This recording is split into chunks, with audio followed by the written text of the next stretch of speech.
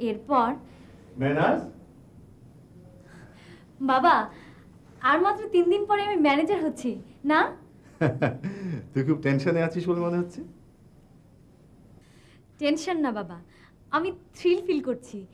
পাশ করি এত বড় চাকরি ম্যানেজার আমার আন্ডারে পিয়ন ক্লার্ক অ্যাসিস্ট্যান্ট ম্যানেজার কত কি? আরে এত ঘাবড়াবার কিছু নেই রে। আসলে তো কোনদিন চাকরি করিসনি। প্রথম প্রথম একটু অস্থির অস্থির লাগবে অনেক কিছু বুঝবি না ভুল করবি। আমি ভুল করলে তুমি আমাকে বকবে বাবা। নিশ্চয়ই। এক্সপ্লানেশন কল করব। অফিস ইজ অফিস মেয়ে বলে একটু কনসিডার করবে না? নো নেভার বাড়িতে তুমি আমার আদরের কন্যা কিন্তু অফিসে তুমি আমার সাবঅর্ডিনেট বাবা তুমি এত করা বস অফিসের ডিসিপ্লিনের স্বার্থেই বসদের করা হতে হয়। আচ্ছা বাবা আমি তো তিন দিন পর ম্যানেজার হচ্ছি। মানে আমিও তো ছোটোখাটো বস তাই না? নিশ্চয়ই। তাহলে যেমন তুমি এমডি হিসেবে আমাকে বকাঝকা করতে পারবে আমিও তেমনি ডেপুটি ম্যানেজার অ্যাসিস্ট্যান্ট ম্যানেজার মানে আমার সাবঅর্ডিনেটদের তেমনি যখন তখন হুকুম বকাঝকা করতে পারব তাই না বাবা? নিশ্চয়ই। দোষ দেখলে শাসন করবি ভালো কাজ করলে প্রশংসা করবি। কিন্তু তোর এখন এই সমস্ত ভাবতে হবে না।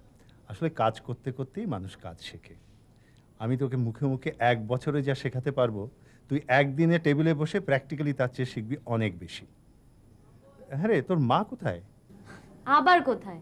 বেডরুমে শুয়ে শুয়ে তামিল ছবির ফাইটিং দেখছে।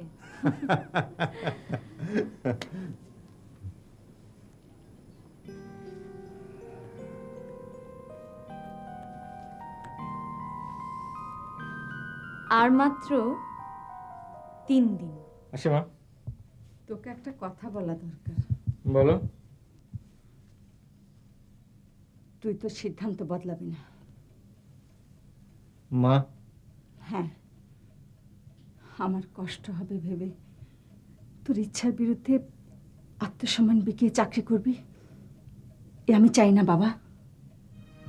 মা তোমাকে ভাবতে হবে না। আমি দুটো টিউশনের ব্যবস্থা করেছি। নতুন চাকরির চেষ্টা করছি। পরশু আড়াইটা পর্যন্ত অফিস করব।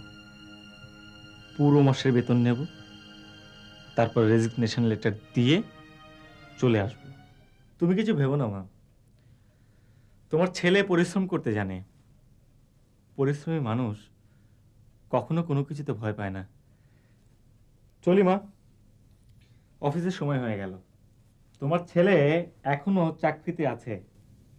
তোমার ছেলে দু মিনিট লেট হওয়ার অপবাদ কাঁধে নিতে পারবে না। একটা কথা।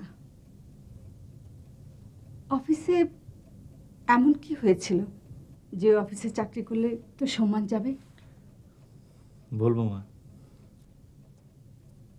আমি মা আমাকেও বলবি না? বলবি না? বলব। সব বলব। আগে চাকরিটা ছেড়ে আসি। তারপর। তোমাকে একটা